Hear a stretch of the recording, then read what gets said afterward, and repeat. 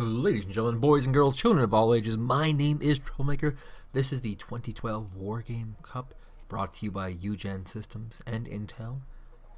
And we are witnessing a very, very rare thing a pact versus pact match.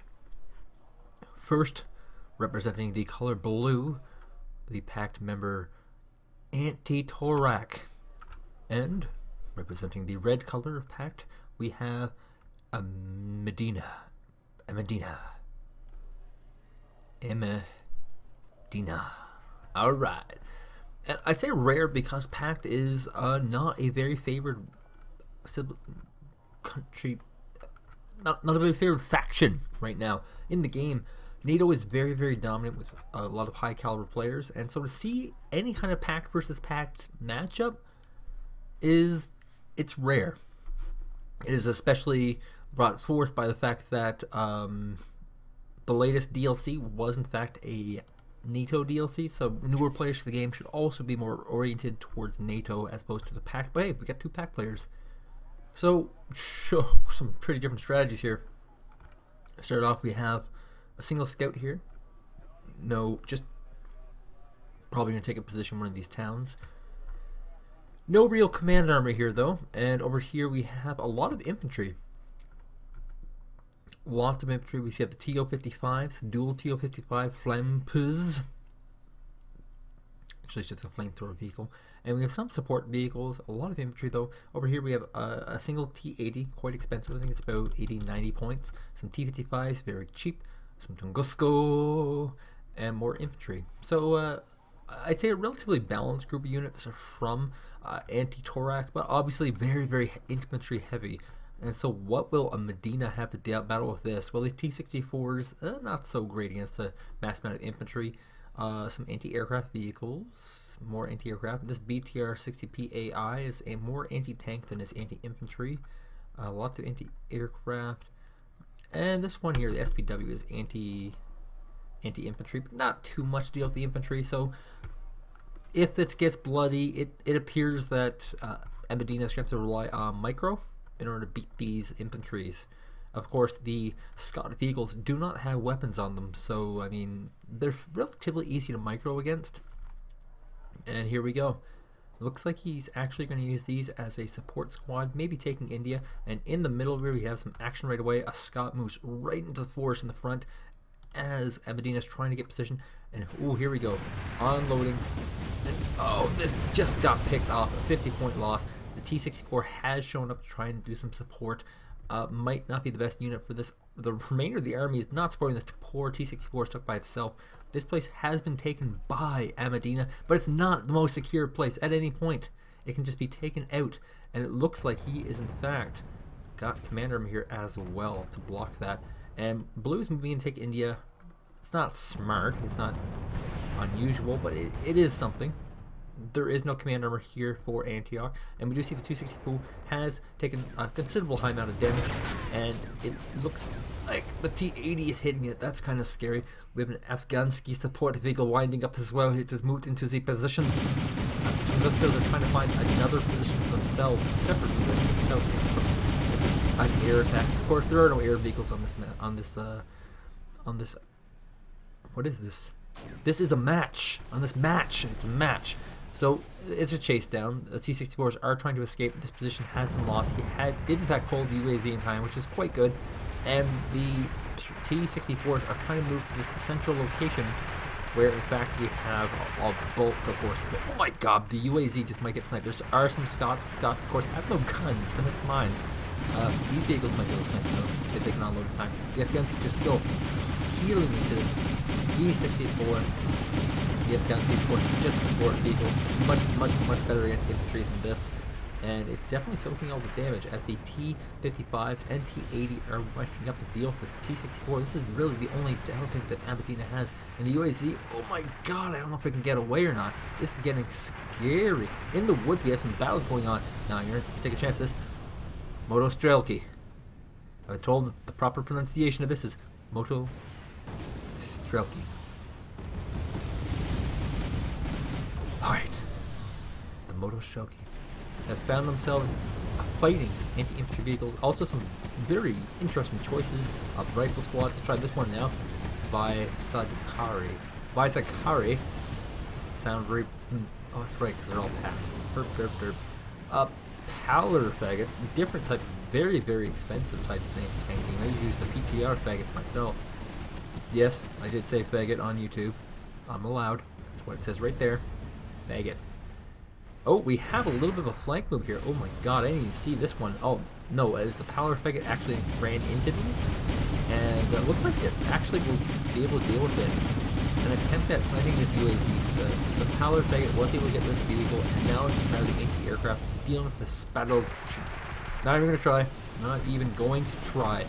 Red looks like he has successfully taken the middle, but oh, it just doesn't look so good. Scott hasn't surrounded, it is of course not a vehicle that does any damage. And never mind, the TO-55s are coming in with support vehicles. Of course, the TO-55 is most effective at fire position, so they can demoralize and stun troops. They are a very, very cost-effective way of getting a stun off, and we have just a great little formation attack moving in here. I believe this is just the Spedocronierzi. Alright, I tried. And blue has in fact completely taken the middle. There is a UAZ here, and it looks like a big, big, big lead for Anti-Torak, who is just teaching Medina how to play the game. We do have Malka artillery getting fired upon embarrassingly by a single vehicle and there are still some pallet faggots, but there are some Scots moving in to deal with it, and some BMPs. It's probably these uh, specialized V lettered units. And the middle is mostly cleaned up. He's trying to keep the UAZ in here just to kind of deny any kind of point grab for India. And in fact, the Paladar faggots will in fact get cleaned up by these brand new Spadio Corneorzi. That just does not roll off the tongue. Not at all. Now here's an awkward little situation. Blue doesn't really know what's here, but he, knows that the command's there. And he's in fact moving this Spadocriniersi into the town here, and this might be effective at cutting off the retreat of this command, as a lot of Urals leading the charge. That's a little weird. The T-55, some V Sadkara, Visakara, I don't know if this is actually a common one. I don't think it is. But if it does become a common one, this will become very problematic for my casts. Here will be another unit that is completely unpronounceable with the English tongue. All the while, it looks like there are still two bases here for Amedina. Doesn't have much of a chance of catching up. He is unloading quite a few infantry, and this is a, very key thing that people do when they're very, very, very, very far behind. Instead of banking up and trying to go for an all-in, they will just buy a bunch of infantry and try to survive. I can't really tell you what strategy I favor more. Surviving and hoping the enemy makes a mistake, or going for a big all-in and trying to win it. It's hard to say, but the BTRs will in fact find the Spado Spadokroniarskis, and these are in fact attacking vehicles. These Spado Spadokroniarskis might have met their maker from the Motostrelkales who have invaded their homes. There are some Urals moving along the map. I don't know what they're doing. Maybe trying to supply somebody, I guess. But this is a pretty crazy battle. Look how great this little battle looks. And oh, and the Moto Strelkis have run straight into this battle. And this is the craziest fight of all. I have never actually got to see a scene like this where it's like a completely urban war. And oh my god, look at this! This is fantastic. I have not, in the history of this game, got to see a battle as cool looking as this, where it's actually people firing at each other and cool ass vehicles moving on the curve. But I got distracted because there's a T-62 attacking into a TO-55. This course is a good trade for the 262, but if he gets the unlucky stun, he is in trouble, and he is in fact backing out. He is dead. The TO-55 was in fact successful. Oh, there's a by-side carry here. And there's a lot of units in this little town. The TO-55 winding up, deciding, yes, smarter to retreat as um, this position does belong to red, but keep in mind it's not much of a position to keep. There's no real reinforcement path here. This is the reinforcement path of red. And red coming in with the BTR-60 PAI. And, ooh, it gets shot down. Critical failure. Explosion. There's not really much of a play that is available to Anti-Torak right now. He's moving a Palar Faggot out into the open. T-55 is winding up to attack. And we also have, you know, it's just the T-55 AMBs. some rockets coming off by the Powers. They get a nice bit of damage to kill off one of these tanks. Moto Strakalis are trying to move in, but these Visad Kali's arguments. Oh my god, here comes a crazy flank. Amedina showing a little bit of strategical knowledge as he's moving in all over the place. Now, splitting up your units like this against multiple targets is not particularly smart, especially considering against these support vehicles, but he's able, with both numbers, just kind of survive. Everything here has been forced back. The Moto Stracali, however, is picking off a lot of support vehicles. This will no doubt die as well. And a nice, very successful, very well coordinated push by Amedina. You gotta give a person credit when they deserve it had a very, very poor opener, but has done a very successful job in doing a multi-pronged attack. The Afghanskis have to come back to support. Afghanskis, of course, are an anti-aircraft unit. Another support vehicle. Oops. They're a support vehicle. Of course, of course they're good against infantry. Of course they would come back for this purpose. This is what they're there for. We have the T-55 running straight into the BTRs, successfully runs away. The Motostrelkis, Strelkis, Motostrelkis, I said it, I said it right, first time, Motostrelkis, pushing it back. Some Visad Karis are moving in though to try and intercept these Moto Strelkis, and they do in fact do so.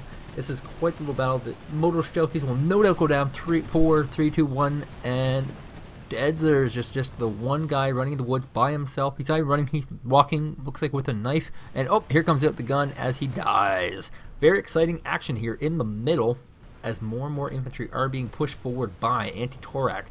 Now we have something going on on this map. Where was something going on? Oh, oh my god, he's moving the BMP right into the maw of the mouth of the enemy. It will no doubt drop some crazy amount of units here. Come on, drop them. Drop your pants. Nope, he's going to continue fighting forward. He, he ended the life of one. This one only has two two men left in it, so it's a very, very easy target. And this one's down as well. And here's another one with just three men trying to hide away, but there's no way to escape the wrath of Anti-Torak as he's gunning down men. Well, he's not gunning down any yet.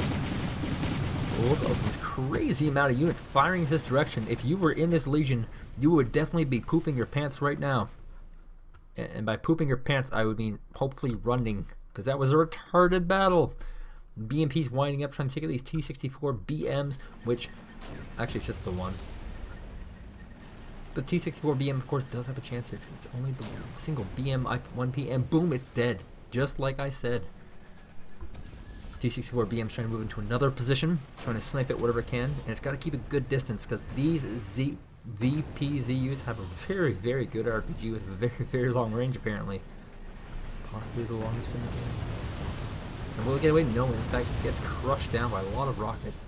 We have a little crazy move here. Oh my god, look all these infantry is moving out of nowhere. And we do in fact have a Flakpuz dead there's nothing here protecting this UAZ. There is an anti-aircraft vehicle all the way over here, but there's nothing really protected. And here he comes in, dead, gone, dead as a fish. There's only one more point left for Medina, and it's over here. And at this point, if Anti-Torak really wanted to just snipe this game, win this game, he would just move all his units this way. Because with a point difference like this, there's not much available for poor little Amedina. As he rallies two tank destroyers right to the middle of the forest. I'm sorry, that doesn't seem like a good move. Oh, by the way, there's a single helicopter on the map.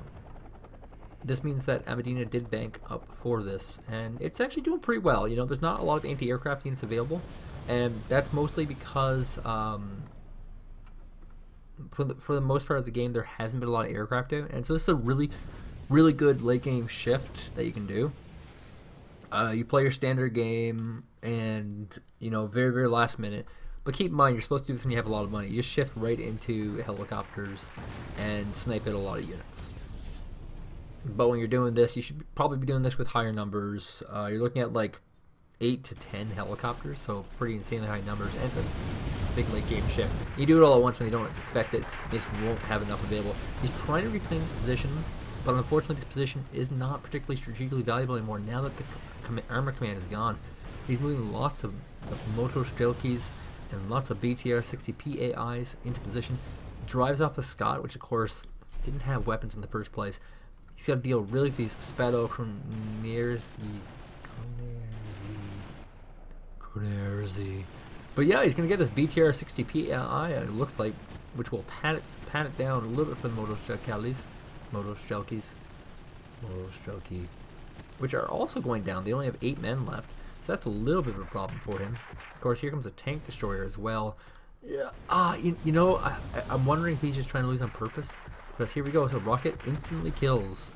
It's just, it's just a lot of bad choices here for Amedina, and this is a very, very one-sided match. And Anti-Torak is just really making it known that he's going to go on to the next round.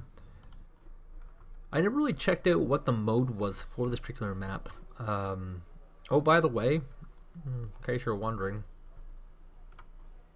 Anti-Torak has in fact gone with like what I would do. He went for Charlie, Kilo, India. That's what I would do. Alternatively, Juliet, Kilo, India. Just it gives it gives you a nice control of roads and whatnot. I like it. That's how I'd play this map. Other people play it very, very differently. But uh, yeah, a little bit of a lull in action, mostly because Anti-Torak has killed most of the units on the map. Now he's moving, in fact, a group of 10 men, 10 the best, VPZU. Very, I'm very curious as to what um, nationality actually has this unit. It looks like it might be French by the berets, but the uh, the Green Berets also wear berets. They're Americans, but it could be French. Maybe it's Belgian. Could also be German, really. It's probably French. Bunch of Frenchies with their little fanny packs on. That's right, you run, boys. You run into these woods with your fanny packs on. You probably don't even need field rations. You probably can't even survive without your mocha lattes from Starbucks. Does Starbucks have mocha lattes? I don't know. I only drink coffee that's cheap. But yeah, they're moving in. They want to really snipe this command. He hasn't really um, invested a lot in this. It's just a few units. And these kind of units are actually perfect for this, by the way. If you have any kind of recon unit that's an infantry, they're very good at reconning, but they're very good also at sniping. I actually myself use uh, groups of Delta Force for this, and here we go, right off the bat, like, he just snipes out this transport helicopter. Of course, it's not fully dead, but it's pretty freaking dead. It's just so effective. Like, they're very hard to find by having a high recon value. They're also very, very hard to see. Very, very invisible. And so he's just going to, you know, inch it forward slowly. We need to win all at once, of course. And uh, Red looks like he's winding up for another big attack, trying to regain this town, which of course is uh, a very strategically important point. Because if you control the town, you also control this road, which means that, and that means you, you block off this road and this road, but not this long road. It just gives a good, good, good hitting point at the enemy. And oh my god, is that artillery fire pounding down on these poor tank destroyers?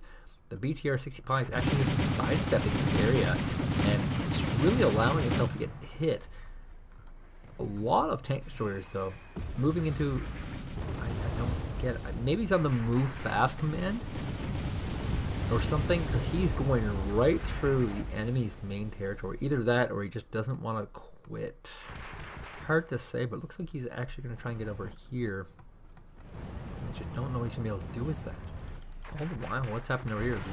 The, the VPZU has in fact caught up a lot more units. It is forced an abandonment of this command temporarily. Yep.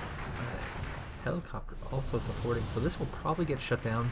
There are a lot of Moto Strelkys coming in, single infantry vehicle, and he's actually running out of ammo. That, so this these special forces have really paid themselves off. They're doing quite well, especially if they get some grenades off and some of the groups of enemies. And there they go but they paid themselves off. It's a really good trade. I really like that. Ooh, a tank destroyer coming from around the back. What a sneaky devil he is. Going to the reinforcement point with a group of OT 800s, 8100s. Not a tank destroyer type that I've really seen a lot of in this game. And um, yeah, the game kind of just slowed down. At this point, we have Anti-Torak really just resupplying all of his units with some supply. It's a little bit redundant. And we have a little bit of a helicopter strike here. Of course, these helicopters continue to be attacking, and they both fell over. So, I mean, not much going on. And oh, here comes a, UA, a UAZ-469 Scout. It's armed with nothing. It is only used for targeting purposes. And we do have a nice little wave of infantry units coming across, maybe trying to take out this UAZ. It's all the guys from over here. And another band of units might get caught. Ooh, the T-80s are winding up. This poor Scott carrier is down, and there's a BTR 6090B PB right next to it. That could problematic. The only cluster of units really left on the map for Amedina right now is the main one, which isn't too much. He's kind of just throwing everything he has away. Quite the problem. This game should be ending pretty quickly. Um, let's uh, kind of fast forward ahead to this battle here, because this will be one of the big deciders. And oh, things are slowing down. Slowing down downtown. The Scott ran out of fuel in a very awkward position. Luckily he's in cover so it's not really spottable. And oh, what do we have here? Another multi-pronged type attack. Different all on the lane. And this is just good practice. Minimize the damage from artillery. We also have a small little incursion down here. This tank destroyer unfortunately getting wiped out by pure infantry. And there's a helicopter actually going to come around. It's a transport helicopter, but it's got no precious cargo. But it does have some bullets and, ooh, some other helicopters. Oh, these are anti-tank helicopters. Interesting. Potentially used to snipe out a command armor. As more of these OT Scott vehicles are moving out, and the final command lot is dead by artillery fire. Anti-Torak wins in a very, very convincing way. And uh, moves on to round three. So congratulations to Anti Torak. This also may be Antit Orak. I'm not sure. But I'm going to call him Anti Torak. So congratulations.